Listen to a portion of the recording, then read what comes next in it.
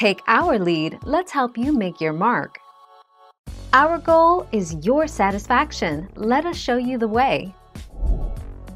Significant differences were detected in readings obtained by the three different handheld infrared thermometers. Analysis of covariance, P less than 001, the most accurate one was chosen, and the normal range of forehead temperature in 1,000 subjects detected by this method was 31.0 degrees Celsius to 35.6 degrees Celsius.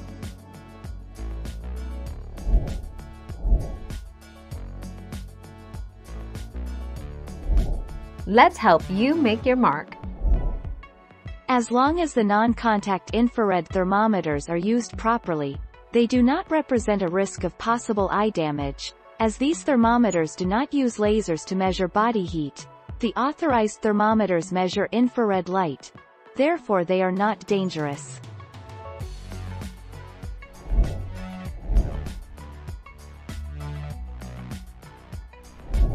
Let's help you make your mark.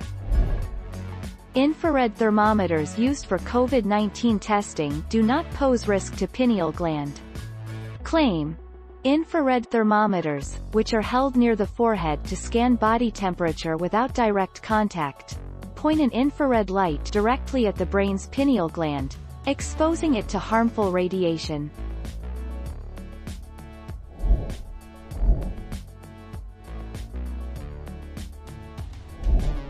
Take our lead. If a thermometer reading shows that your temperature is 37.8 degrees Celsius or above, you may have a high temperature.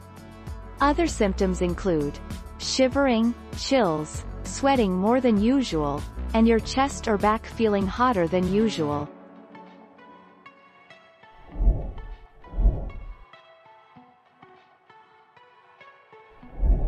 Let's help you make your mark.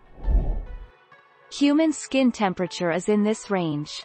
If using a fixed emissivity infrared thermometer, one could measure temperature in the center of the forehead, and then add 5 degrees Fahrenheit to estimate the oral equivalent.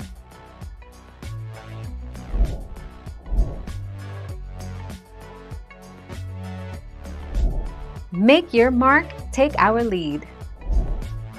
The following thermometer readings generally indicate a fever, rectal, ear or temporal artery temperature of 100.4, 38 C, or higher. Oral temperature of 100 F, 37.8 C, or higher. Armpit temperature of 99 F, 37.2 C, or higher. Thank you for watching. Please subscribe and hit the bell notification.